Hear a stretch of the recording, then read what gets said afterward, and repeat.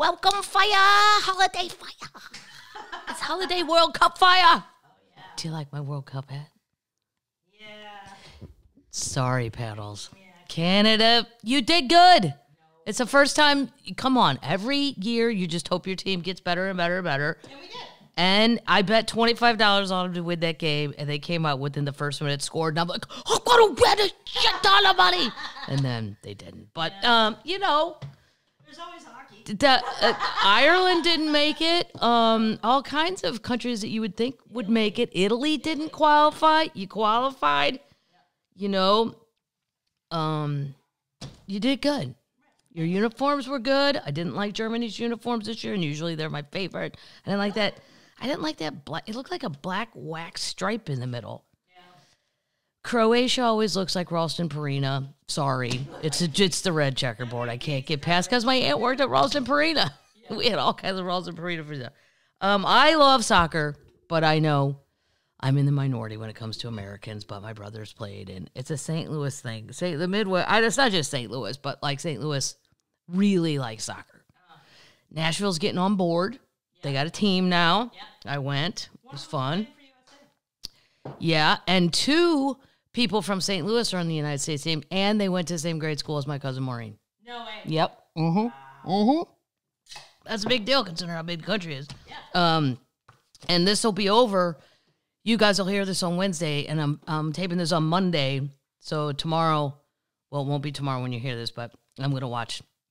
I've, it won't be tomorrow till I say so, paddles. Okay, it'll be tomorrow. God damn it, when I say it's tomorrow, and it's not tomorrow. Tuesday, the World Cup game will be played. We will see if the United States will advance. They're playing Iran. Iran's very mad at us because we changed their flag and we say Iran instead of Iran. Unless you're, um, uh, I don't know, a fancy person on the news. Maybe you say Chile. Chile. I don't know. I grew up with Chile. It's called. Chile you put on a hot dog. Well, we don't use the accent in every single thing. We don't say China. We say China. China. No, China. If you're in the South, that's it's got seven syllables. China. What am I drinking? This is from Andrea and Danielle. Danielle, a lot of stuff from Minnesota finally got back to the house. Very yes. This is a cream ale. It's a Castle Cream Ale Nice. from Minnesota. Yes, very nice. And they said thanks for keeping these sisters laughing. Love the pubcast. All they could find was a holiday card. That's fine. It's the holidays. what else? That was fine. They put a bunch of beers backstage. Delicious. And I either drank them, shared with them with the staff, um, or Kelly McFarland. She likes a good beer every now and then too. The opening act. Um, we got a lot. Of, I got a lot of stuff backstage in Minnesota. I think I said that the last time, but it finally made it back here. Got some for me. Thank you. Yes, and paddles, you got some too. Um, this is from Leah, and she left me these Dots pretzels. Never heard of Dots. I've seen them. I've never tried. I know Dot Food. Well, I think that's the same thing. Mm. Original seasoned pretzel twist. Small town recipe, big time flavor. North Dakota. Wow. Wow. So that's what they're doing. Oh, here's Dot. There's a picture of her. No way. Yeah. How old is she? I don't know. 40? Come on. Sorry if you're younger, Dot. I don't know. You know, she could be anywhere from 35. I don't, that's a terrible thing. I shouldn't have guessed. Dot. Dotspretzels.com. Nice. I have a hard time reading these packages even with glasses on. It's from somewhere in North Dakota. I can't. Ve- Velveeta? Velveeta? No, that's not a city. It's cheese. Wow. Well, I can't read it, but it's North Dakota. Dot looks like a normal, happy American. Velva. Velva. Yeah, Well, good job, Dot. Yeah. I like them a lot. I'll be taking those on the road tomorrow. No, it's not tomorrow yet because I haven't said so. I'll be taking them on the road to where? Spokane, Washington, San Diego. Really, home. Yeah, and Riverside. So thank you, Leah. Leah brought that. And then, boom, a Wisconsin termite mule shit over the border. Nice. A lot of you may not know Wisconsin. You can get there, like uh, it was only like my friends. It's like an hour, so it's not really like she muled some curds. No. Yeah, Ellsworth, a cooperative creamery, cheese curd capital of the world. No way. Uh huh. Wisconsin. They're ranch ones. hmm And they're delicious. Wow. This could probably put you in a hospital if you really went at it. Let's try it. Clog. I'm gonna give it to my dad. See if I can clog some more of his arteries. Come on, Dad. We just had those scraped out. Let's fill them back up. Uh huh. It took 80 years to get that full. Certainly, we can. You can have a cheese curd. Those are delicious. She also brought some New Glarus spotted cow over. Um, Kim and Aaron did that, and they had a nice little card. And they gave me a brochure in case I'd like to know more about the cheese curd capital of the world. We gotta go there. Well, and I'm the kind of nerd that would read all that shit and then show up. Yeah, I will show up. Let's go. Yeah. And then berate them because they don't have t shirts that I like. No, I would never do that. But happy Thanksgiving. Uh, Amy, Kim, and Aaron. Wisconsin beer and cheese curds. Just wonderful. Wonderful. Mm-hmm. Moving on. Brooke. Brooke sent this hot sauce. It's called Crybaby Craig's. It's from Minneapolis. I know, I love it. It's um, it's uh, habanero and it's from Minneapolis, Minnesota.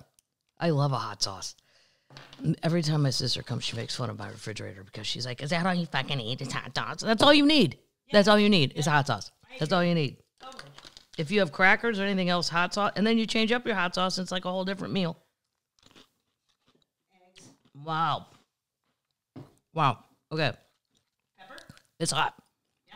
It's very good, but it's hot. Hotter the better. Scale of one to five. How Well, this can't go on like eggs or something. what does it go on? Like, a, I don't know. French fries? Fries. Yeah. It's too much in the morning. Okay. Your brains would be blown out. An afternoon sauce. Yeah, that's from Brooke. Thank you, Brooke. That's an afternoon thing, yeah. Um, Lauren and Mike brought me this little um thing. It's a little Irish good luck charm they made. she made it. Um, yeah, it's a leprechaun. Yeah, she did it. She made it. Um, she drives every week three hours to visit my mom who has Alzheimer's. Listen to the podcast. Um, your stories make me laugh. And many thanks, Minnesota Termite, uh, Lauren, and Mike. I won't say last name because people may not want to know that. Yes, Leanne. Then another. Then we're almost done with this, and we'll keep moving on. Leanne, a very nice termite, brought me some beers, and she um she's a pediatric home care night a home care night nurse. Care for uh, medically complex kids that would, without nurses in the home, would most likely be living in a hospital. So that's nice. I sit in dark rooms with sleeping kids on ventilators that make a soothing a rhythmic white white noise. As you can imagine, can be a struggle to stay awake at sometimes. So she listens to the podcast sometimes. I'm in the rotation. Now, that's a lot better than one time my friend Anita Baker told me that she listened to Bothering Jesus to put her to sleep. I'm like, that is not the intention of a comedy thing. She's like, no, there's just something about your voice. I'm like, don't ever tell people that um that story again. And I just told it again, but it's funny. Funny. She brought some local beer. That's from Leanne. And last but not least, uh, oh, some more termites muled over some New Glarus from Wisconsin. And look, they've there's a Prince store, by the way. This card, if you're not watching this, it, it's a Prince card because Minneapolis. And there's a Prince store in the Minneapolis airport. Sometimes it's not open super early because I always take the first flight out. But boy, if you have time in between flights, it's in the main center. They just ask somebody By the walleye bar. by the walleye bar. Well, is that that's what I call it? I don't know that it's called the walleye bar. It's where I get my walleye. This is from Mona. She um she thought said I hope it makes it to you. By the way, all things make it to me for the most part. Um oh, it's just uh, next to a fancy golf course in Rome, Wisconsin. Yeah, her sister got a place. Anyway, so good job, Midwest termites. Lots of fun treats. How was everybody's Thanksgiving? Fine. Good. Paddles don't care. It's not Canadian Thanksgiving, is it? No, but I celebrated. You celebrated? Yep. Doing what? I friends a friendsgiving. Oh, Oh, God. I watched football and gamble. Yeah, football and gambling is really what it's all about. And I'm so glad there's more games now. And now that I've got the, the kids in the fantasy league, the kids are on board too. Like, you know, my mom will go, why don't we all do? No, no, football's on. No, no. We're playing fantasy. yeah. Do you guys want to play a board game or a singing game? Nope. Nope. Not unless that singing involves the next odds for the next game, Mom. What's the over under in the cowboy game? Um, we did some singing. I can't get into it. it the twelve. It was a Christmas thing, and it was I don't know. It was too early. Okay. Yeah, I didn't get into It's it. It's not December yet. No, uh, no, it was a precursor. Okay. Yes. Um, okay, moving on to the to everything. Do I have any Queen news? Yes. So Thursday, you'll be hearing this on Wednesday, most likely. Tomorrow. Tomorrow is when I say it's tomorrow. it's not tomorrow. Tomorrow. Dolly has an NBC Christmas movie. When? Lots of guest stars. Thursday, whatever the date is. I don't know what date date is today. I don't know. Today is the 28th. It'll be November 30. No, 31st. Is there 31st? No, there's only 30 days. You learn that rhyme. It'll be December 1st, my mom's birthday. And what did she get? A brand new television hung on her wall with a sound bar. The neighbors are going to hate me and they're going to hate the man who hung it. And they're really going to hate my dad because I can hear the news. I can hear the news when I pull up in the car. No. Yeah. Oh no. Mm-hmm. I try to time it so right it's it's at five thirty, and I can hear Lester Holt go, "Welcome to NBC Nightly News," and I can hear it outside. Uh, so Dolly's gonna have this Christmas movie, and um, many guest stars, many heavy hitters. Willie Nelson, I mean, she called in a lot of the gang. Google the guest stars on Dolly's thing, and we'll read them off because it's worth it Guest stars on. Guest stars on Dolly's thing. Yes, that's what we're going for. See who's in it. It's beside. I just remember Willie. Put my, Oh my god. Dolly Parton's Mountain Magic Christmas. her Mountain Magic Christmas. Oh. Yeah. So. Who's the guest stars? Willie? Willie, Billy? Billy, Jimmy? Chili. Who's Jimmy? Jimmy Allen? Jimmy Allen, Zach Williams? Zach Williams. Uh-huh. I don't know who that is. Jimmy Fallon?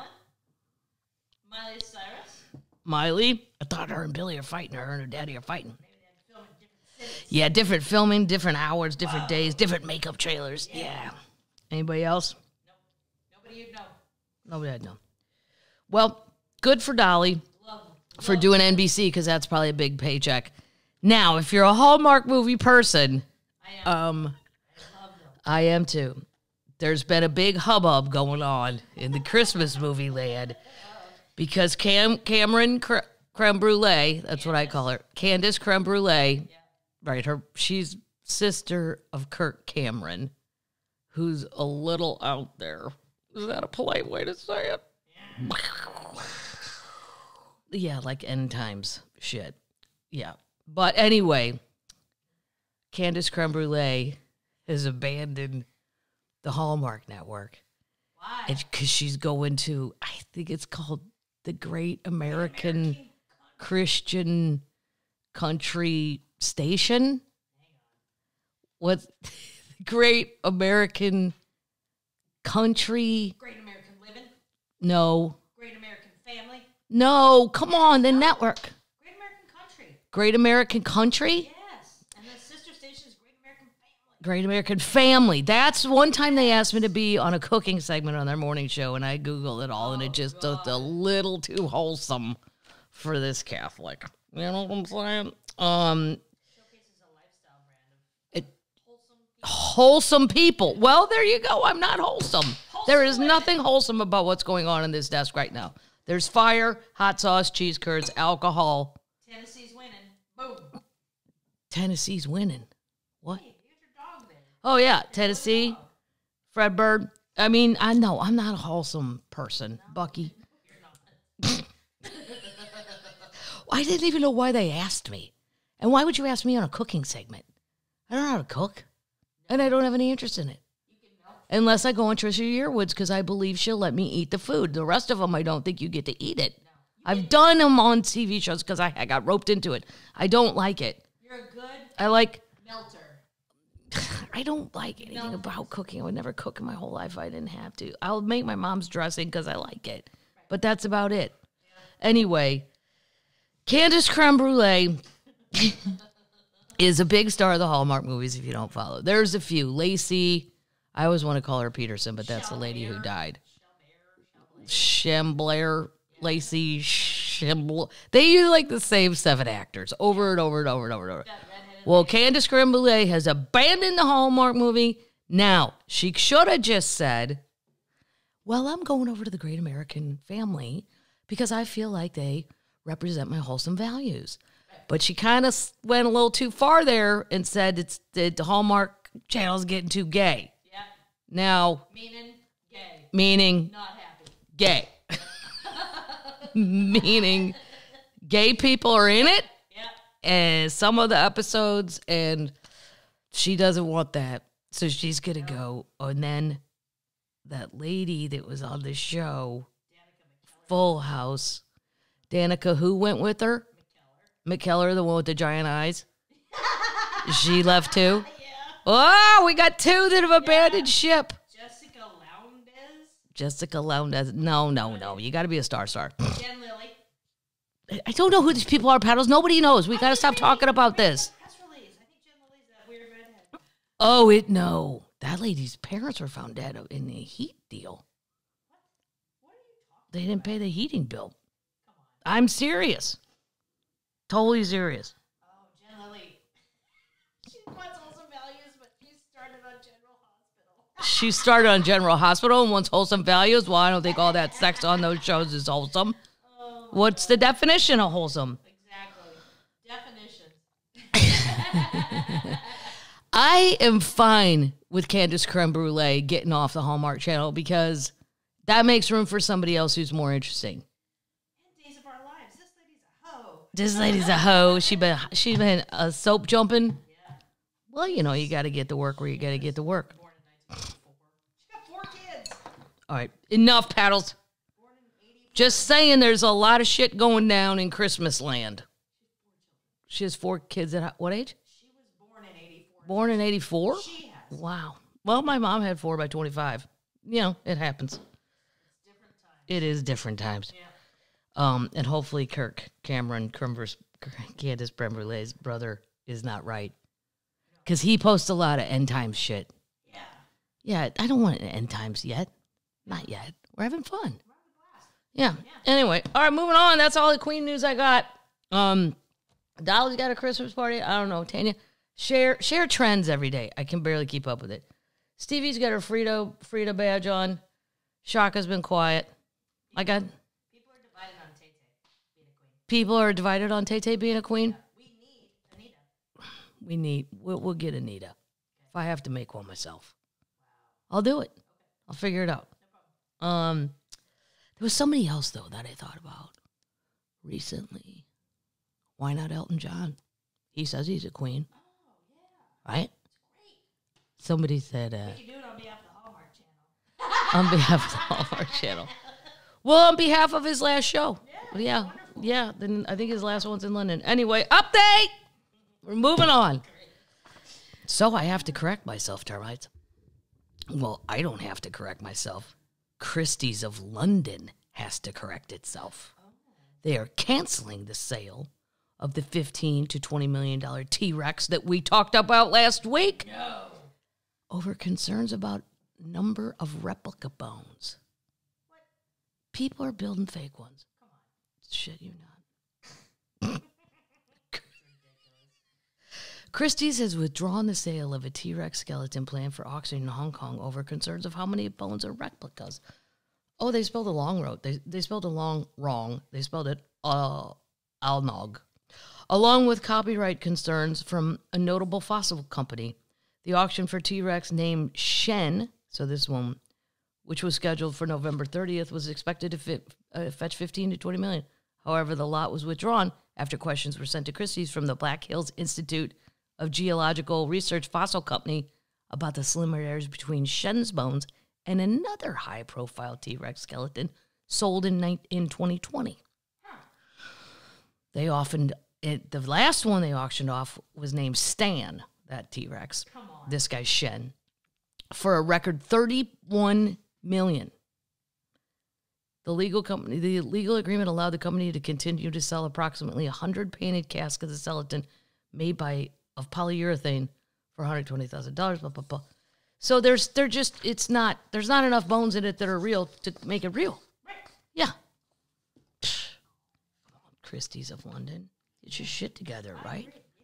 I don't I've never even I don't even know where you go to to find Christie's in London and I've been to London. I never thought about looking. I should have went in there just to see what's good. I wonder if you could just go in. Update. January 6th rioter who filmed Pelosi laptop theft jailed after jury convicts her on six counts. Oh, and it's one of the children. She's 23 years old. hmm Riley June. I'm not kidding. Her name's Riley June. She's released from a Dauphin County Prison in Harrisburg. She was released in uh, January 21st, 2021, in Harrisburg, Pennsylvania.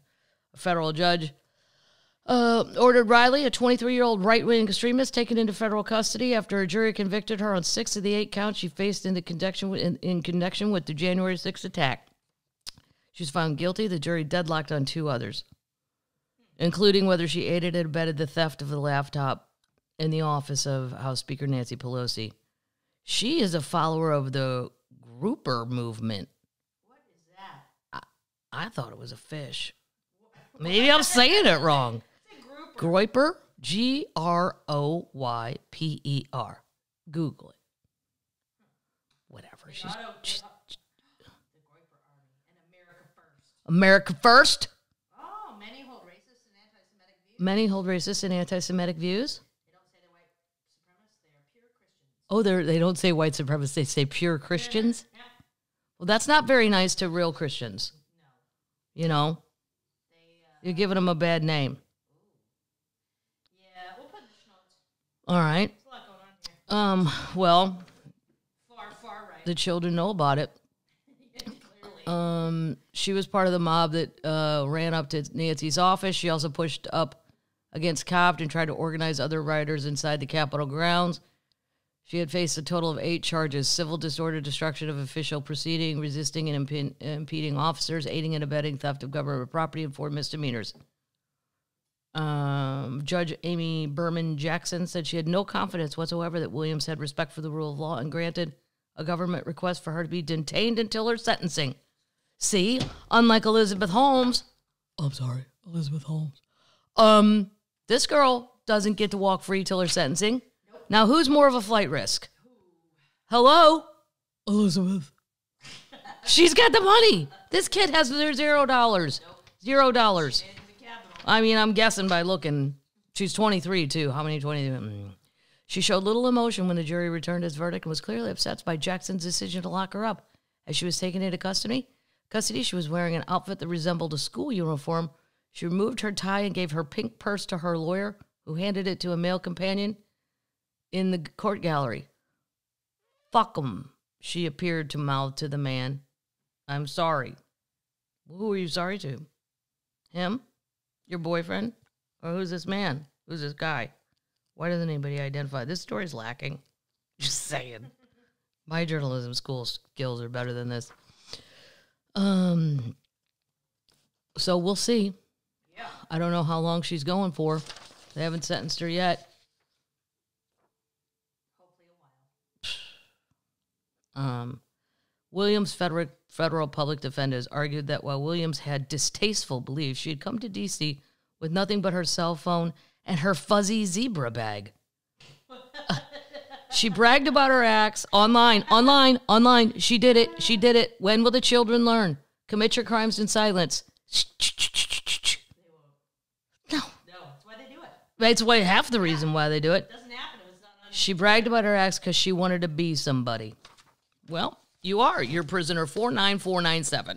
I just made I just made up that number. Sounded official though, didn't it? Sounded like I know what I'm talking about. Totally. We'll keep you updated on Riley June. Riley, what'd you go get into in DC? My zebra bag. She gonna be in prison for a couple years, I would imagine. Okay, this update makes me I don't know why I find such joy in Zuckerberg's failures, but I do. Because I think he's an avatar. I don't think he's a real person and he's I think he's destroying things. Especially in over in Hawaii. He bought all that shit. Like. On November 15th, Meta unveiled a new large language model called Galactica, designed to assist scientists. But instead of landing with the big bang Meta hoped for, Galactica has died with a whimper after three days of intense criticism. Yesterday, the company took down the public demo that had it, it had encouraged everyone to try out. Its missteps and its hubris show once again that the big tech has a blind spot about severe limitations on large language models. Now, I don't even know what a language model is, but whatever, this one failed. There's a large body of research that highlights the flaws of this technology, including its tendencies to reproduce, prejudice, and assert falsehoods as facts. However, Meta and other companies working on large language models, including Google, have failed to take it seriously. Galactica is a large language model. Um, they wait. I wanted to tell you though, we don't. You don't need to understand it. It's a language model, whatever the hell that is. See, see what it says. See what the giggle says about that. What is it? What's a language model? Galactica is a mindless bot that cannot tell facts for fictions. Within hours, scientists were sh- It's probability distribution. probability distribution. Once again, I've been told the definition of something and I don't understand the definition. It's useful for a variety of problems But in computational linguistics. It's useful for a variety of problems in. Com- Yeah, we'll put it in the schnoz. All right. Within hou- hours, It's a lot of big. scientists were sharing its bias and incor- incorrect results on social media. Wow. They just started so that all the scientists were like, this is just garbage. Um, that technology's been around for it's gone. I mean, three days. In all cases, it was wrong or biased or sounded right and authoritative. I think it's dangerous. Um, then this guy went through. Then the the super nerds. the super nerds went all in, and really got pissed off. Okay. Um, the yeah, the rest of it gets too hard, especially when I don't understand the definition of the definition. But it lasted three days, and he told everybody to go. Here's the thing: if you tell, if you're gonna tell all the science folks um, to go try something, you better make sure it works. I agree. How do you put that up and tell them? Because it's not like if you told a bunch of beer drinkers to go do something. We might or we might not. And we probably, if it just kind of half ass work, we'd be like, yeah, that's kind of cool. But you can't tell these people to take this shit seriously. Holy shit, they found it. We're moving on. This is awesome. Why does it these why don't these things happen to me when I'm walking at the creek at our farm in Missouri? The creek's really low. Me and my mom went looking for arrowheads. Jeff Foxworthy's other favorite pastime. And Missouri Round Rocks. I found a lot of cool stuff this weekend. But anyway. What'd you find? Oh, like tools, pot, ancient pottery tools. You found ancient pottery tools. Yes, ancient pottery tools. Where are they now? My mom knows the name of all of them because she's a super nerd and researches it all. And then she contacts some man who I'm certain is very excited to speak to, Vicky Madigan, at the University of Missouri in the such and such department. Um, you know, like the when they had the bowl and the thing that you Pesto. pesto, pesto, pasta, Pasta. uh, tools. There, I found out like a turtle. They they made art, all kinds of shit. Yeah, but listen to this: a dried up river exposes a rare fossil of the largest big cat on the continent, the American lion. The last thing Willie Pruitt of Exford, Mississippi. I've been to Mississippi quite a lot, and I've never heard of Exford. Expected to find on a walk was a fossil from an animal that roamed the region roughly 11,000 years ago. He stumbled upon what resembled a jawbone with black teeth on October 26 near Rosedale, around 140 miles northwest of Jackson. Okay, then I know where that's at. As he poked around a sandbar that had exposed itself due to the low water levels on the Mississippi River, I could tell from the teeth right away that it was a fragment of a carnivore's jaws, but I dared not hope it was from an American lion. I, it looks, it certainly looked right, but I wouldn't let myself believe that. Was it the first of its kind? Surely it couldn't be the American lion. Uh, questions were aplenty, and there was only one right way to rightly confirm. Three days later, Pruitt visited Mississippi Fossil and Artifact Symposium and Exhibition event and asked for an expert opinion. Little did he know that his discovery made history. Nice. It is indeed a fossilized jawbone of the largest cat on the continent, the American lion, until they went extinct. Eight feet long. Ooh, eight feet long. God, I think a baby cat. Baby cat's probably only one foot long. One, one and a half. Eight feet long, weighed a thousand pounds, the American lion, and is reported to be heavier than the saber-toothed tiger. The giants date back 340,000 years and preyed on large animals across the continent from Alaska to southern Mexico. His was only the fourth fossil evidence of the lion. And the other three were found in Mississippi too. That's crazy. Yeah, that's weird. Why why are they all in Mississippi? Um, surprisingly, the symposium happened to have an exhibit of these previously found fossils. What are the odds? Event organizer said that Pruitt made history by showing up with a definitive American lion fossil. I've had very important artifacts and fossils come into my outreach programs, but nothing as significant as a newly discovered American lion. Yeah, the extinct lion was first. The first one was discovered in Natchez, Mississippi, in the 1830s. No one knew that giant lions roamed North America until this famous Mississippi discovery. The only other two were discovered near the Mississippi River near Clarksdale, Mississippi, and Rosedale, Mississippi. How great is that? Nice. You found a lion. A whole eight foot. Yeah. I'm picking up rocks in a creek going, does this look like a turtle that somebody made as a little piece of art for one of their children? Here's another. Holy shit, they found it. Is this pottery? A massive ancient sea turtle discovered in Spain was nearly the size of a car. A sea turtle the size of a car. What kind of car? Well, they don't say what kind of car, but I'm going to say if it's a Spanish Spain, it's a tiny sedan. Yeah, it's a tiny car, but it's still that. Paleontologists in Spain believe they unearthed, unearthed a new prehistoric sea turtle species that may have been the largest ever. Researchers at the Autonomous University of Barcelona analyzed the pelvis bone and posterior part of the shell recovered from the Pyrenees mountain range in northeastern Spain in 2016 to 2021, and they determined the turtle was 12 feet long. Whoa! um, a hiker traversing the Pyrenees in 2016 stumbled upon a part of the fossil. There's a picture of what they think it looked like.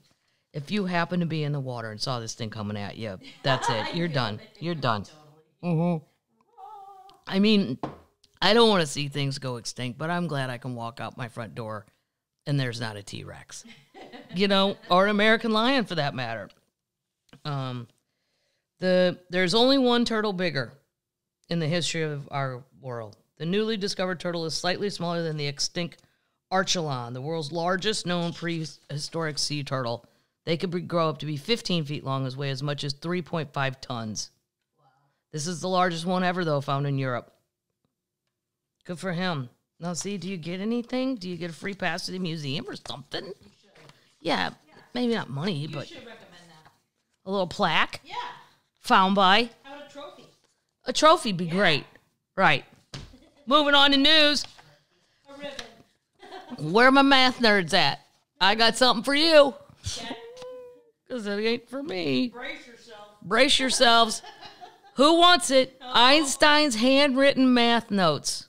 Expected to fetch 70 grand at an auction. A sheet of paper covered in the mathematic notes of renowned physicist Albert Einstein is tipped to sell.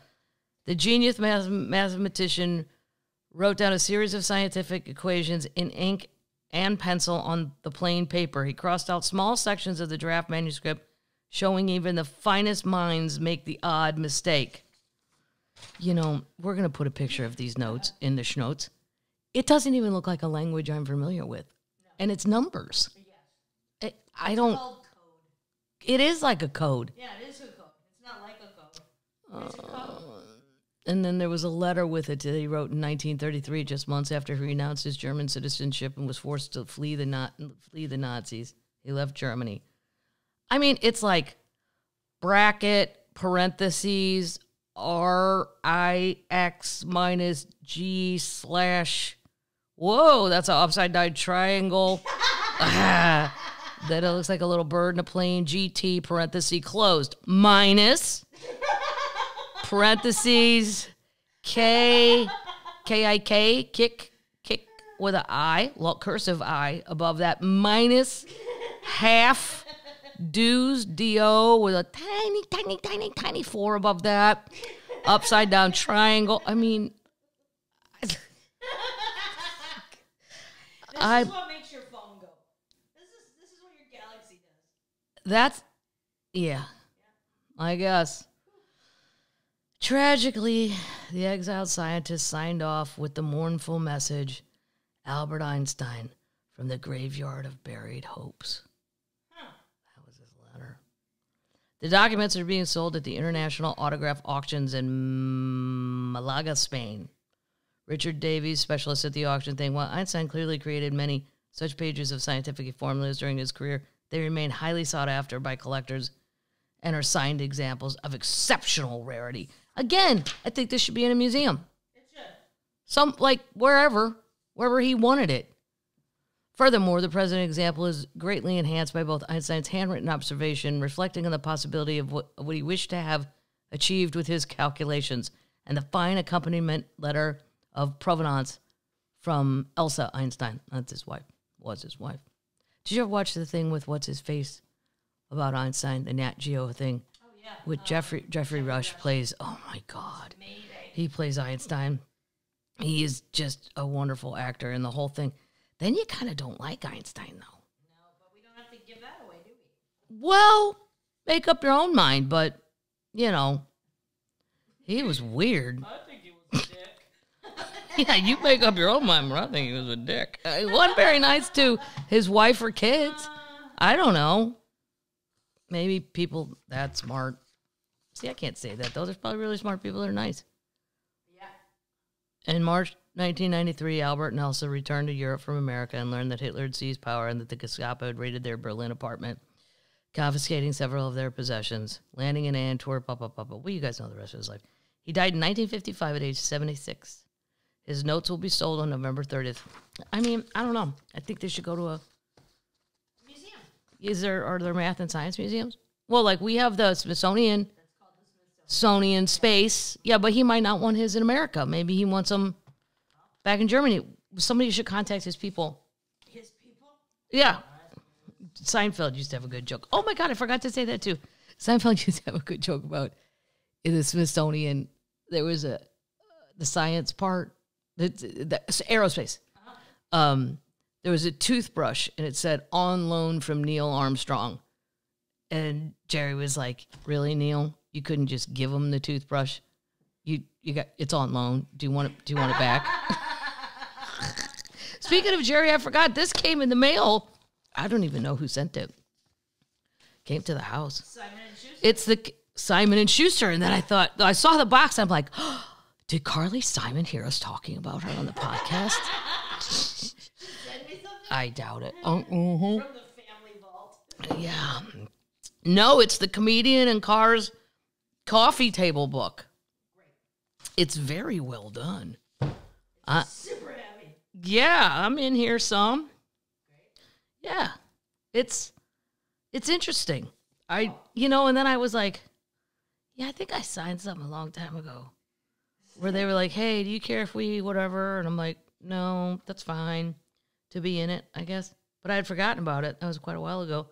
But well done. But I forgot to say this came in the mail. It was shocking because I don't. Well, I mean, I should remember I did it, but I'd spent a long time. And then I forgot to show you guys this: the Diamonds and Rhinestone Dolly album. That's fantastic. I don't even want to open it. I just like the cover. It's really cool. The purple is fantastic. Yeah. It's Or is it black? black and sparkles. It's black and purple. There's purple on there to go with the butterfly. Anyway, I forgot about that. Germany um, has a Smithsonian. What? It's called the Deutsche Museum.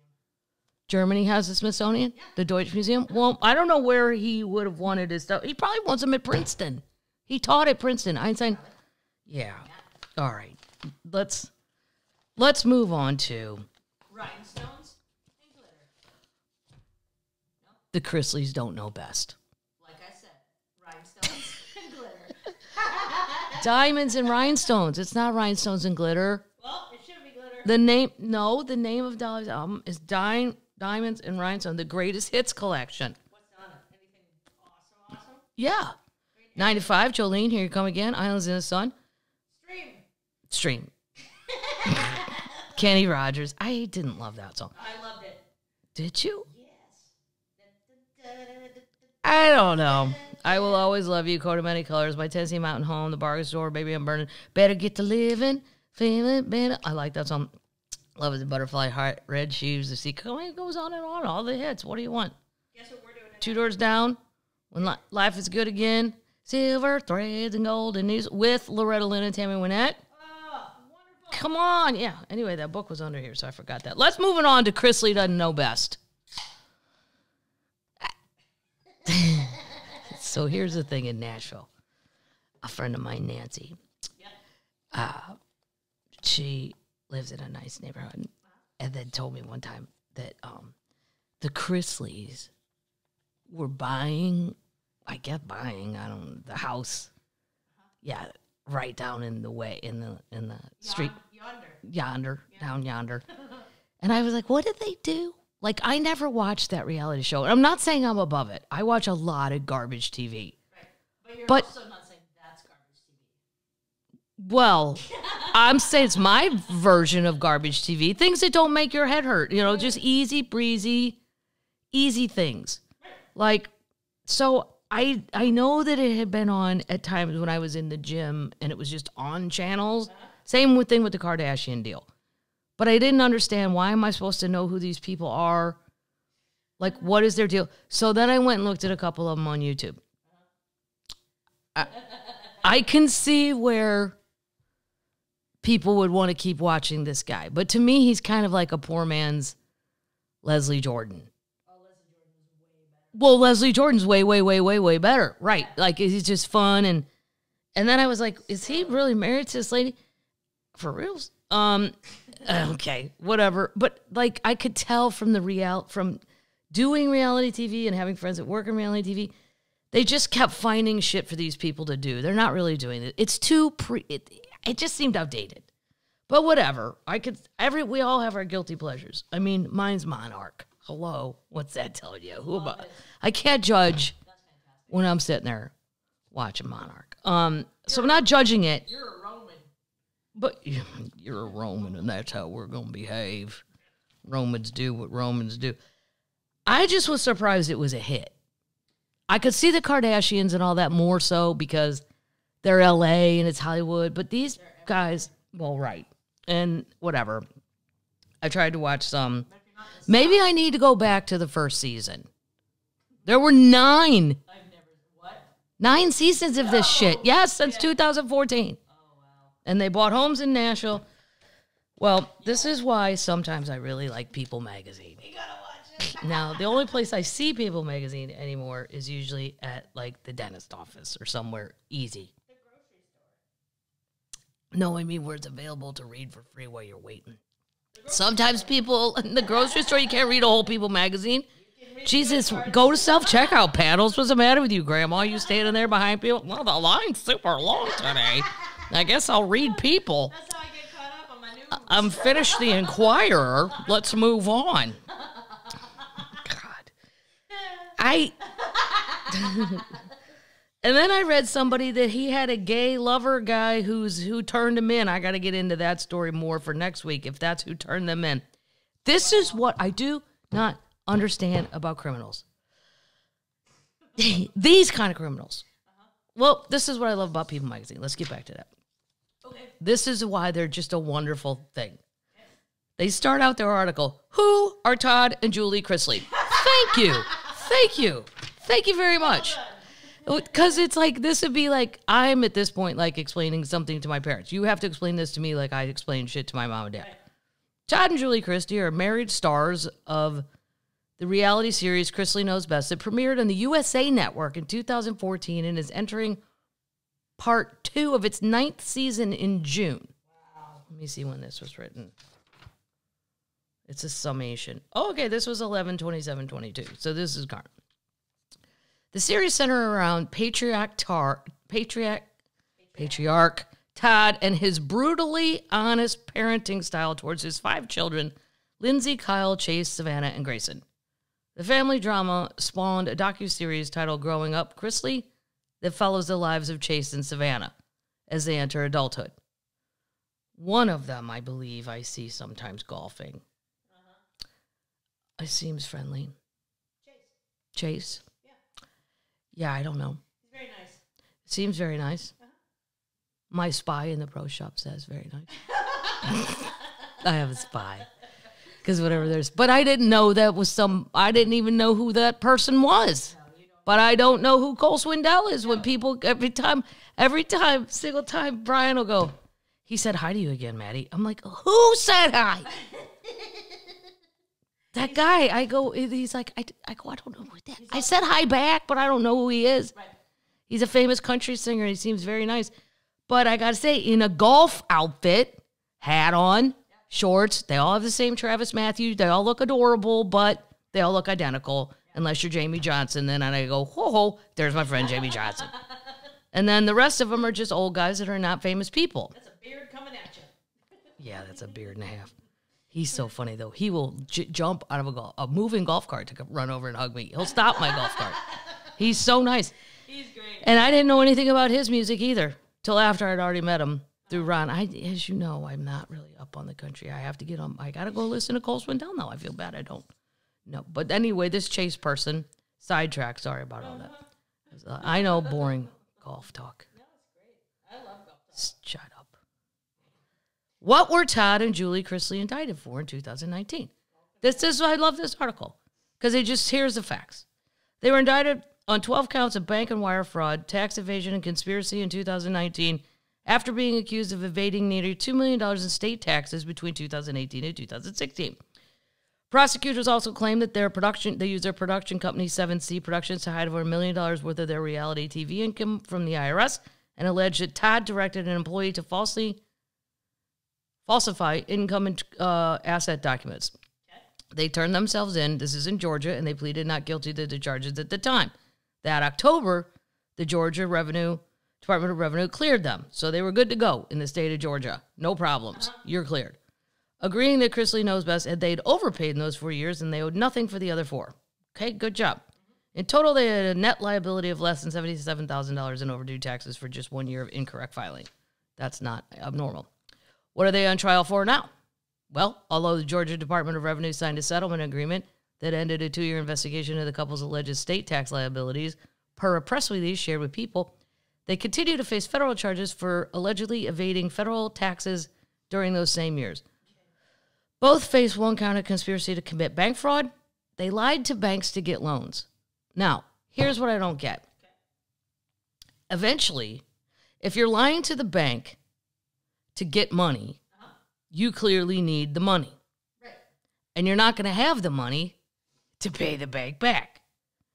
Like, I'd rather take my chances with two meth heads robbing a 7 Eleven. because if we do it uh-huh. and we get away with it, You're good. we're good.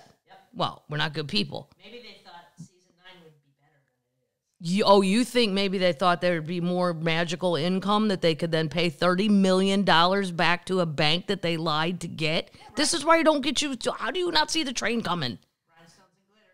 Rhinestones and glitter. Rhinestones and glitter is the answer to everything. Um, the accountant was charged too. They lied on all these things to get the money, but eventually the bank is going to come looking for the money. I don't understand how they. It's the Casey Anthony thing. You take the cops to Universal Studio. You say you work there. You know you don't work there. How, where do you think the train ends? There's a sociopathic element here that I just go. I understand robbing the bank. I mean, I wouldn't do it, but I get, I get the idea of rob and run. I don't get the idea. I don't get the lie to the bank. This will go down in flames, and What's the payment on those loans? I don't know what the payment is. They don't just give you money. Um, they've been convicted on all counts. He's going to Popo for 12 years. She's going for seven. Yeah. I mean, I, I just, I don't see in the whole concept is terrible because if you're saying I need $30 million from the bank to keep up my lifestyle, you clearly don't have it. You're going to have to pay it back. What is the thinking? Some magical thing's going to happen and you're going to have 50 million? Be able to pay them their 30 back? I don't think they care. Just live for the moment? Yeah. Well, that is really psychopathic. Yes.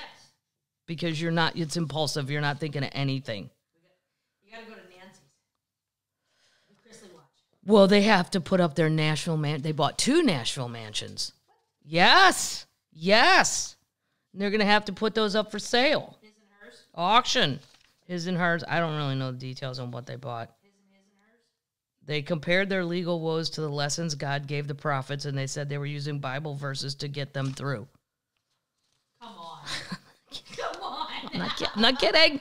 I can't make these things up. Oh my god. Jesus is gonna fix it. Just give him a minute, okay? God damn it, paddles. Just give him a minute. Give him a minute. Simmer down. Jesus. All right, you guys. Later. You have to go see the picture of this thing. Whoops, sorry. A fisherman in England. Yep. I would have.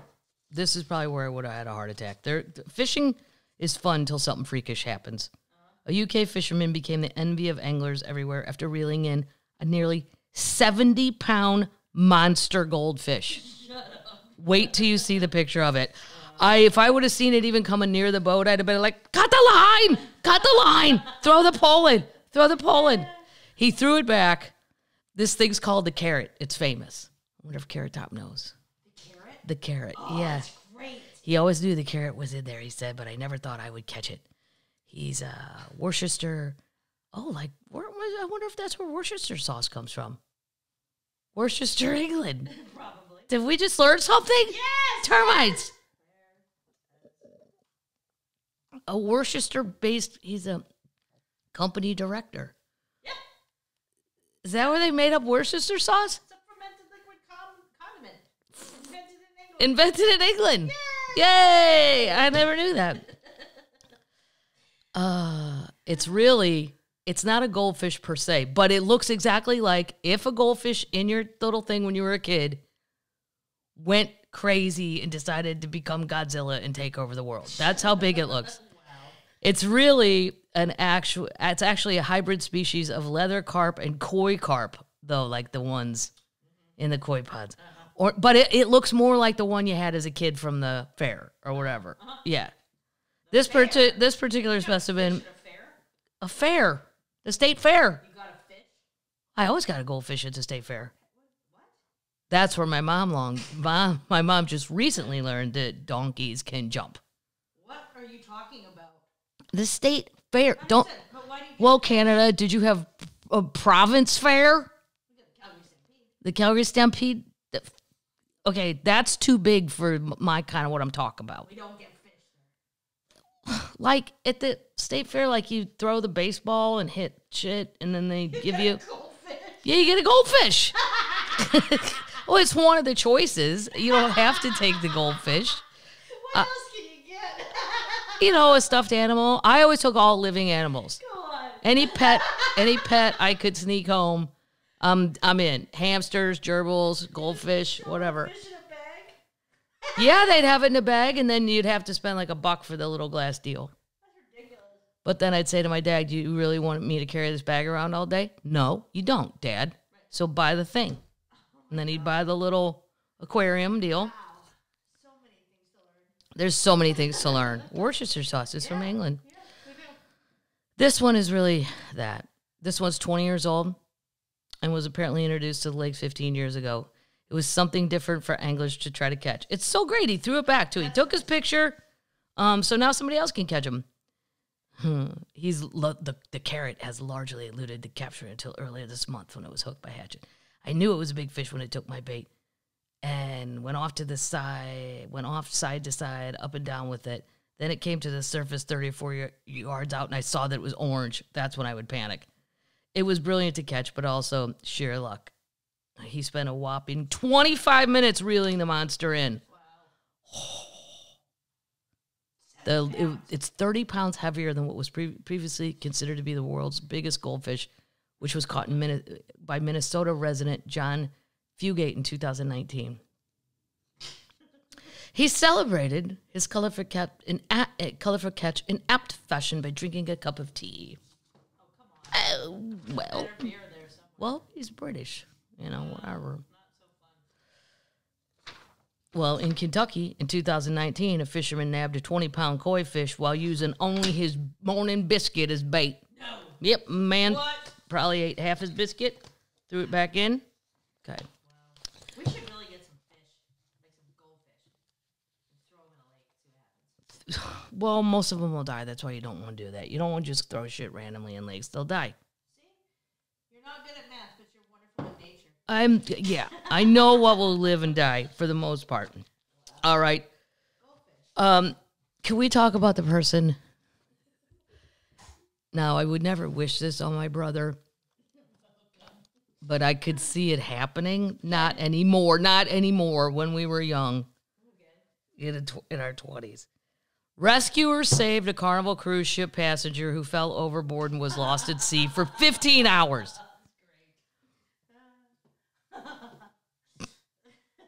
I don't want to say that Carnival's usually the one where people are drinking a little too much, but let's just say it's Carnival. But it's for the children. It's not, you know, the Regent, Royal Caribbean. It's it's usually what do we call it? What's a polite way to say? Um, Discounted. not discounted. That makes it sound like it's in the sale bin. It's a a bargain, if you will. Discounted is nicer than bargain. I don't think so. No. No. I'd say no. Anyway, it's usually not super expensive. So the 20 somethings, the children, they want to go. And it's not because some of the other ones are getting ridiculously expensive. Um, this guy, he's 28 years old. he's drinking at his bar with this, his sister at the bar. That's why I was thinking of Patrick. She's like, drunk. She's drinking too, right? And she's like, Yeah, I don't know. He just kept getting in trouble for vaping. And uh, I figured he went out to vape. And then she went to bed. Nobody reported him missing till the next day. It's okay because he lived, okay? Um, they were in the Gulf of Mexico. Wow. Yeah, he fell over Wednesday night, and then they started a search, but not till thirty uh, Thursday morning. It took a coast, it took a team effort from Coastal Guard Watch Standards Response Crews and our professional maritime partners operating the Gulf to locate the missing individual. How do you stay afloat for fifteen hours? If it was not for the alert crew aboard the motor vessel Crinus, this case would have a much more difficult ending. The man had been aboard in the Carnival Valor ship with his sister when he did not return from a trip to the bathroom Wednesday night. Rescuers spotted the man on Thursday, roughly 20 miles from the coast of Louisiana. He's now in stable condition. They posted the, there's a video and you can see him bobbing in the water. I mean, it's dark. It's dark out. Yeah, but you can see he's floating. I mean, how? Do, I don't think I could. No way. He was paddling with his arms and waving at helicopters, and they hoisted him with a rope. He told the man. Uh, Gross told CNN that the man realistically could have been in the water for 15 hours plus, but we were able to successfully rescue him before we were able to rescue. He was able to identify himself to rescuers, but was showing signs of hypothermia, shock, dehydration. oh, shit. I mean, can you imagine? No. First, you fall. First, you're probably drunk. You just went out to vape. Sober. Then you fall off God knows which deck, and basically it's like hitting concrete. yeah. And then, boing, you're awake. Being drunk saved him probably. Being drunk might have helped a lot. Yeah, he's probably relaxed when he hit the water. I shouldn't even say he was drunk. He was drinking. I know that. I don't want to get sued by somebody saying, well, he really was having him fall. Yeah. Okay. Well, He had 44 rum runners.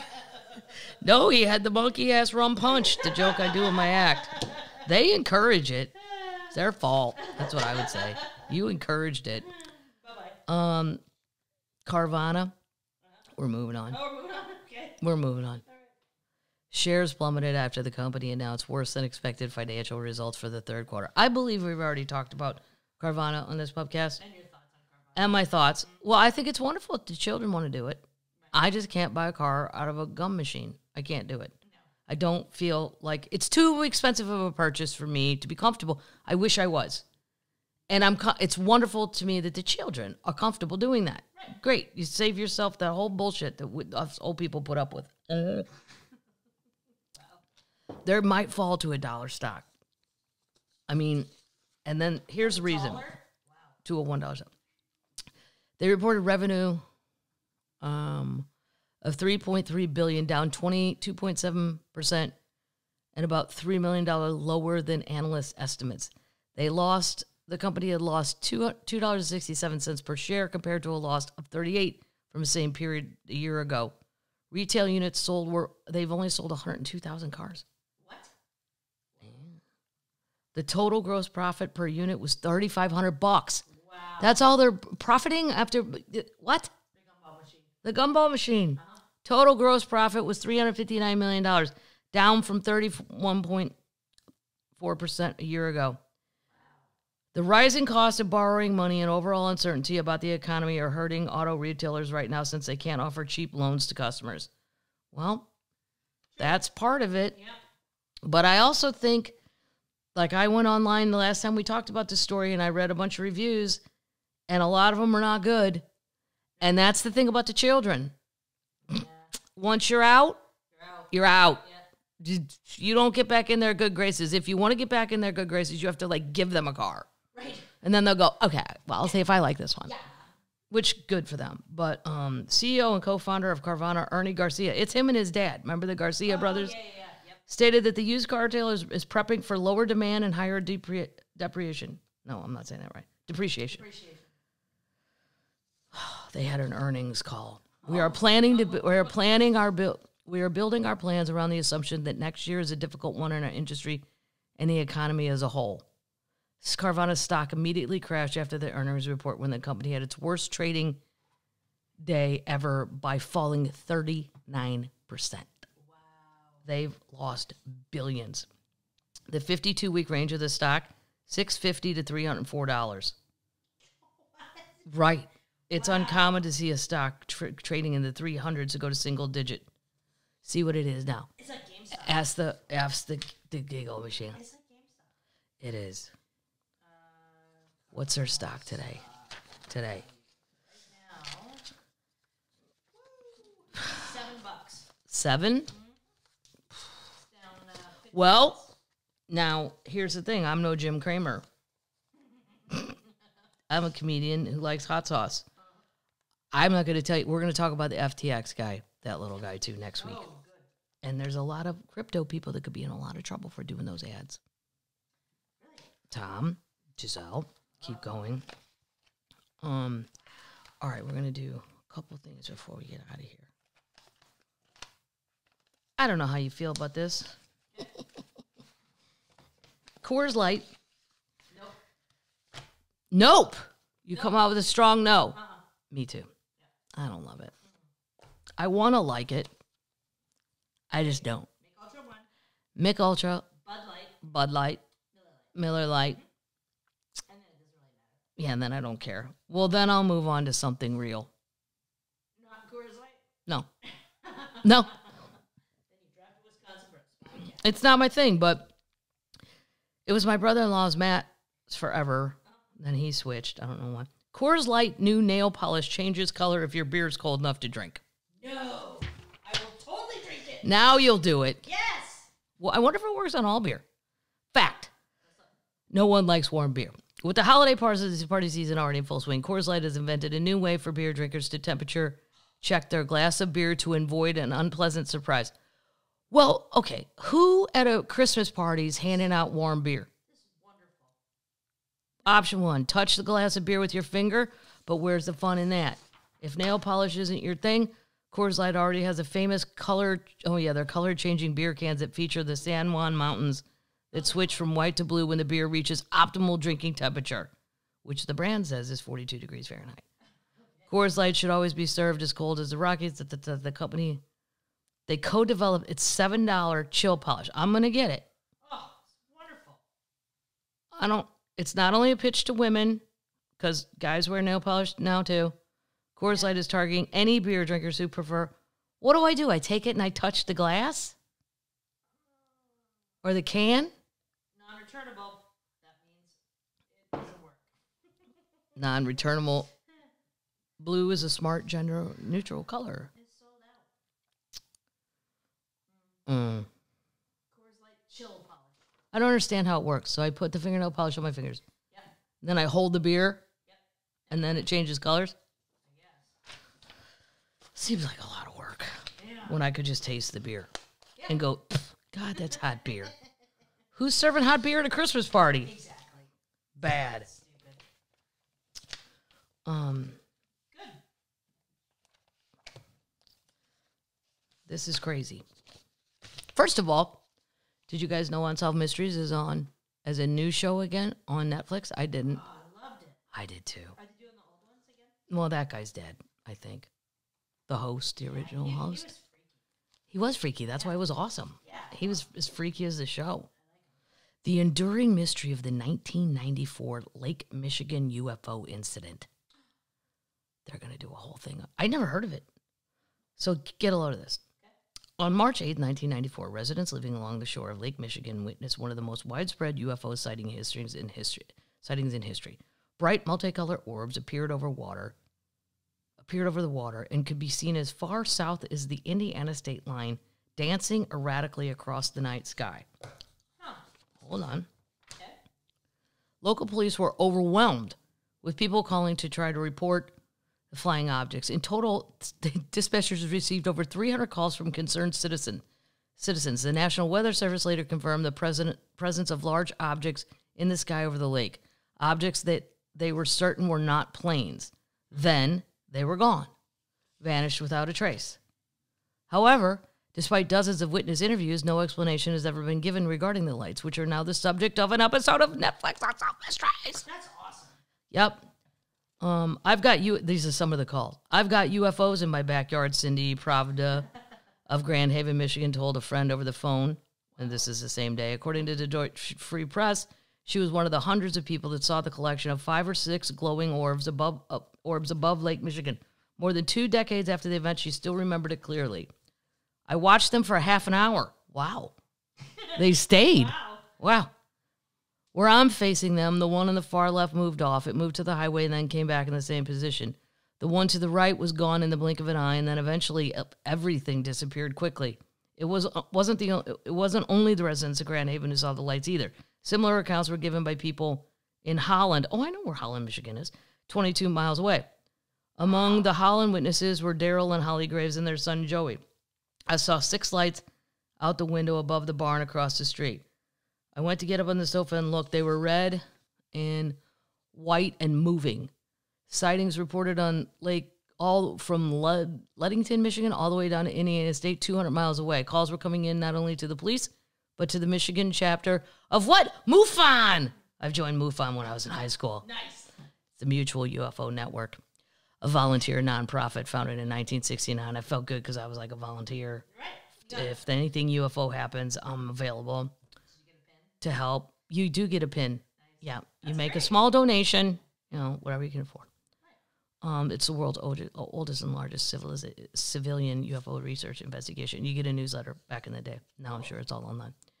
While it's certainly strange for such a large number of people to report the same phenomenon, perhaps the most compelling evidence regarding the, the incident came from the observations of a radar operator for the National Weather Service. One Holland police officer heard statements from numerous witnesses, all of whom described exactly what Prav- Pravda and the Graves family saw bright, flashing, moving orbs, seemingly random directions. And then the guy called a meteorologist. Um, their conversation was published a year after the event. It's been made public. Throughout the call, they discussed the mundane ex- explanations for the unearthed, including was it a nearby radio tower with newly installed lights and da da da. Um, at one point, he said he saw three, sometimes four blips, and they weren't planes. Planes. So this guy's saying, no, it's not a plane. No. Um, he revealed that when he found out his phone call with had been recorded, he was terrified people might think he was a freak. Just people think might you're a kook or lying or not credible. I'm supposed to be a scientist. This is the weather service guy. Right. There was no simple explanation for what he'd seen. He went down the line of technical glitches and weather phenomenon, yet nothing lined up with came up on his screen. Screen. So I want to watch that episode. Yes. Why? I wonder why they always go over water. I've never saw one at the Lake of the Ozarks. Maybe they see their own reflection.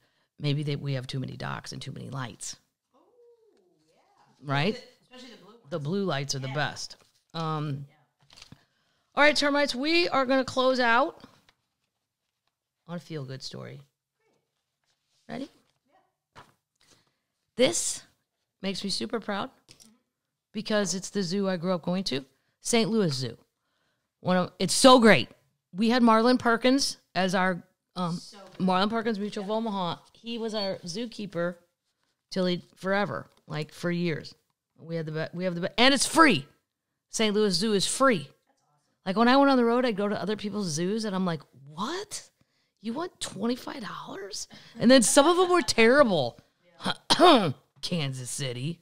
Oh, come Uh, I'm just saying, back in the day, I haven't been there in a while. You know who's got a really good one? Omaha, San Diego, Seattle. Seattle. I do judge by your zoo. Rocky LaPorte used to do a funny thing about that. I think it was the Kansas City dude. He's like, I'm not sure it was a zoo. I think it was just like animals that were like there. And then they like put, you know, a fence up and they were like, yeah, that's our raccoon. Uh, the St. Louis Zoo, home of Marlin Perkins. This is great. It's a great zoo. Um, this is one of my first open mic jokes. I don't want to sue her. I don't want to say the St. Louis Zoo is awesome, but I'd put it up against Africa. He called his people. Z- The St. Louis Zoo announces the birth of a of adorable endangered leaf monkey. I'd never seen one, and now I want one. Oh no. They have pumpkin colored hair. No way. Yeah. The pumpkin haired fur baby was born right in time for Halloween. Oh, He was born. He was born on my birthday. Oh yeah, yeah. great. Yeah, I don't know why they're just telling us about it now, but the St. Louis Zoo announced the birth of its first ever Francois langur, an endangered species also known as a leaf monkey. So the now one month old rhubarb was born September 30th. Yay, yay, yay. In its primate canopy trails area, the Missouri, Poop, Missouri Zoo posted on Facebook. Zookeepers cared for the little one until her mother, Dolly, 16 years old, was healthy enough to take over the role. Wait till you see this thing. It's like a monkey. if a monkey had the eyes of a cat, Oh, cool. or the roundness of a cat, mm-hmm. it's the cutest thing ever. Now, I don't know if it's like the other ones we talk about in this podcast where, you know, you get them in gangs and then they start attacking people and shit. I don't know. I don't really trust monkeys, but this thing. Rhubarb's birth is part of an association of zoos and aquarium species survival plan, which works to maintain a healthy population of Francois langurs in North American Zoo. Dolly's been a phenomenal mother, and throughout the birth, uh, and and through the benefit of her having a great relationship with the keeper staff, has been incredibly accommodating to the supportive care that she and Rhubarb need to get back on track. It's the cutest thing. Somebody said it looked like Prince Harry. Now that would be a toy stuffed animal with sales through the roof. So you know what the St. Louis Zoo will do? Because we're smart like that, we're good with merch. They will make a stuffed rhubarb, and they will sell. They will sell rhubarb in the gift shop. Take the train. There's a wonderful little train for kids. Yeah. Where do you see a picture of one though? We'll put it in the show notes. A leaf monkey. A leaf monkey. I'd never heard of it. It's the cutest thing ever. That's fantastic. Yeah, that's the good news. That's a feel good story. Yes, it is. Feel good. Move on. Termites. All right, termites. I have to go to Spokane, Washington. El Cajon. El Cajon. Yeah, and then um let's just look before I sign out. and say good. Say night night termites. I was gonna read where else I'm going.